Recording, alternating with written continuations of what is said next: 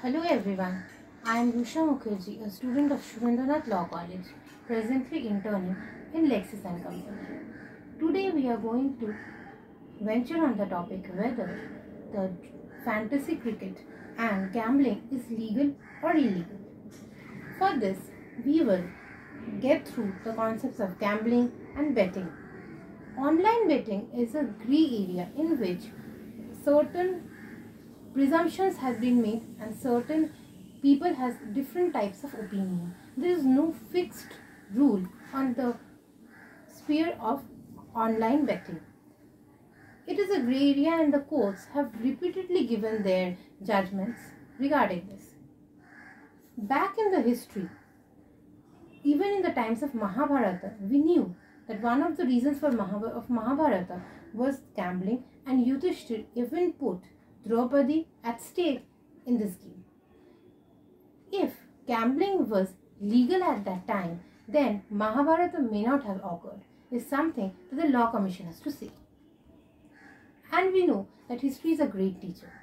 And from this, a great takeaway can be taken that gambling is one of the basic human instincts of man and it has to be well regulated so that it can be used as a great advantage for us. In India, the old pre Independence Act, that is the Public Gambling Act 1967, is still used. It is almost more than 150 years old now. However, the Gambling Act of 2005 made gambling in UK legal due to the changing UK norms but it is very surprising to see that in India, no, nothing of such sort has been done. And still we follow the law of the pre-independence time. It is completely under the state whether they want to follow the state laws, they make the own, their own state laws or they want to follow the central regarding this matter. Gambling has not been defined properly in any of the gambling legislations. So, many things do not come under it. Some things do not come under the gambling. The main things that come and do not come under gambling are betting of an horse, which is subject to certain different regulations, lottery, and games of skill like Dream 11. Now, we know, as I have told earlier, that the act we follow in India for gambling is very old and it does not have any provisions for online betting or online gaming. As of 2020, it is legal to play lottery in 13 states. As of now, Arunachal Pradesh, Assam, Madhya Pradesh, Maharashtra, Manipur, Meghalaya, Mizoram, Nagaland, Punjab and West Bengal. Now, what is game of skill and what is game of chance? Game of skill is something on which we have prior knowledge or experience. Something which is not completely based on chance. It may be a combination of chance as well as skill. But the game of skill in a game of skill, the skill has to be predominant. Factor always.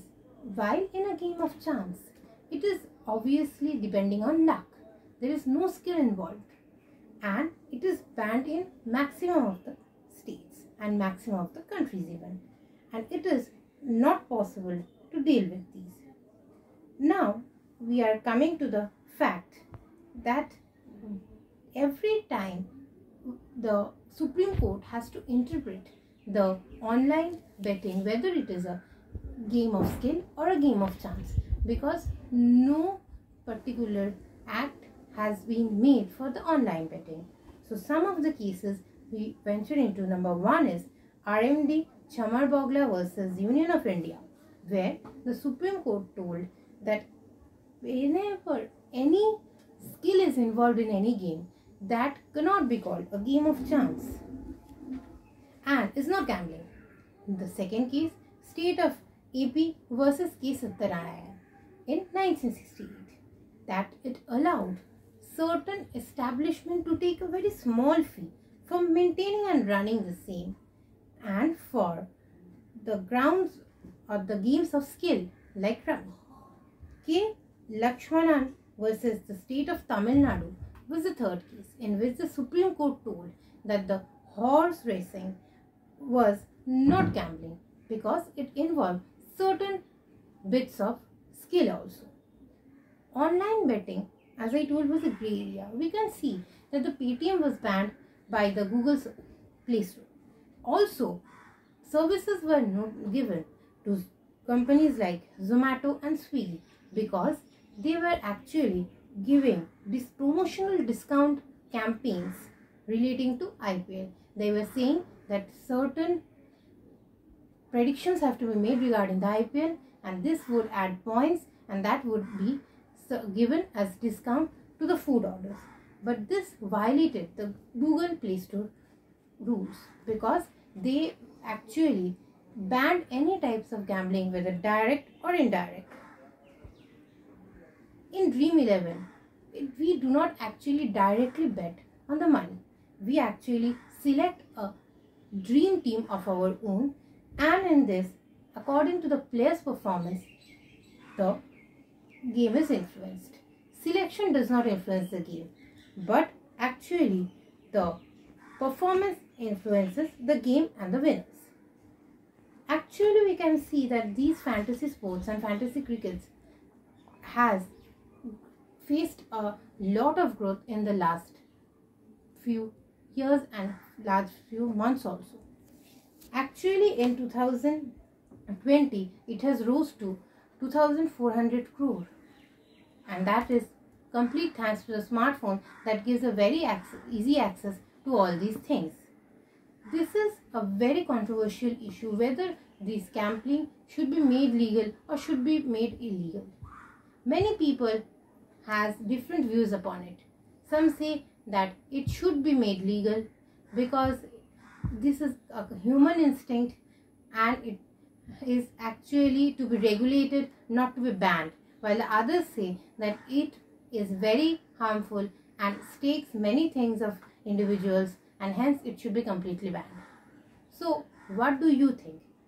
Should gambling be made legal or illegal in India? Let me know what you think. For this, I am waiting for your answer. As of now, Tata, bye bye. Have a good day and thank you.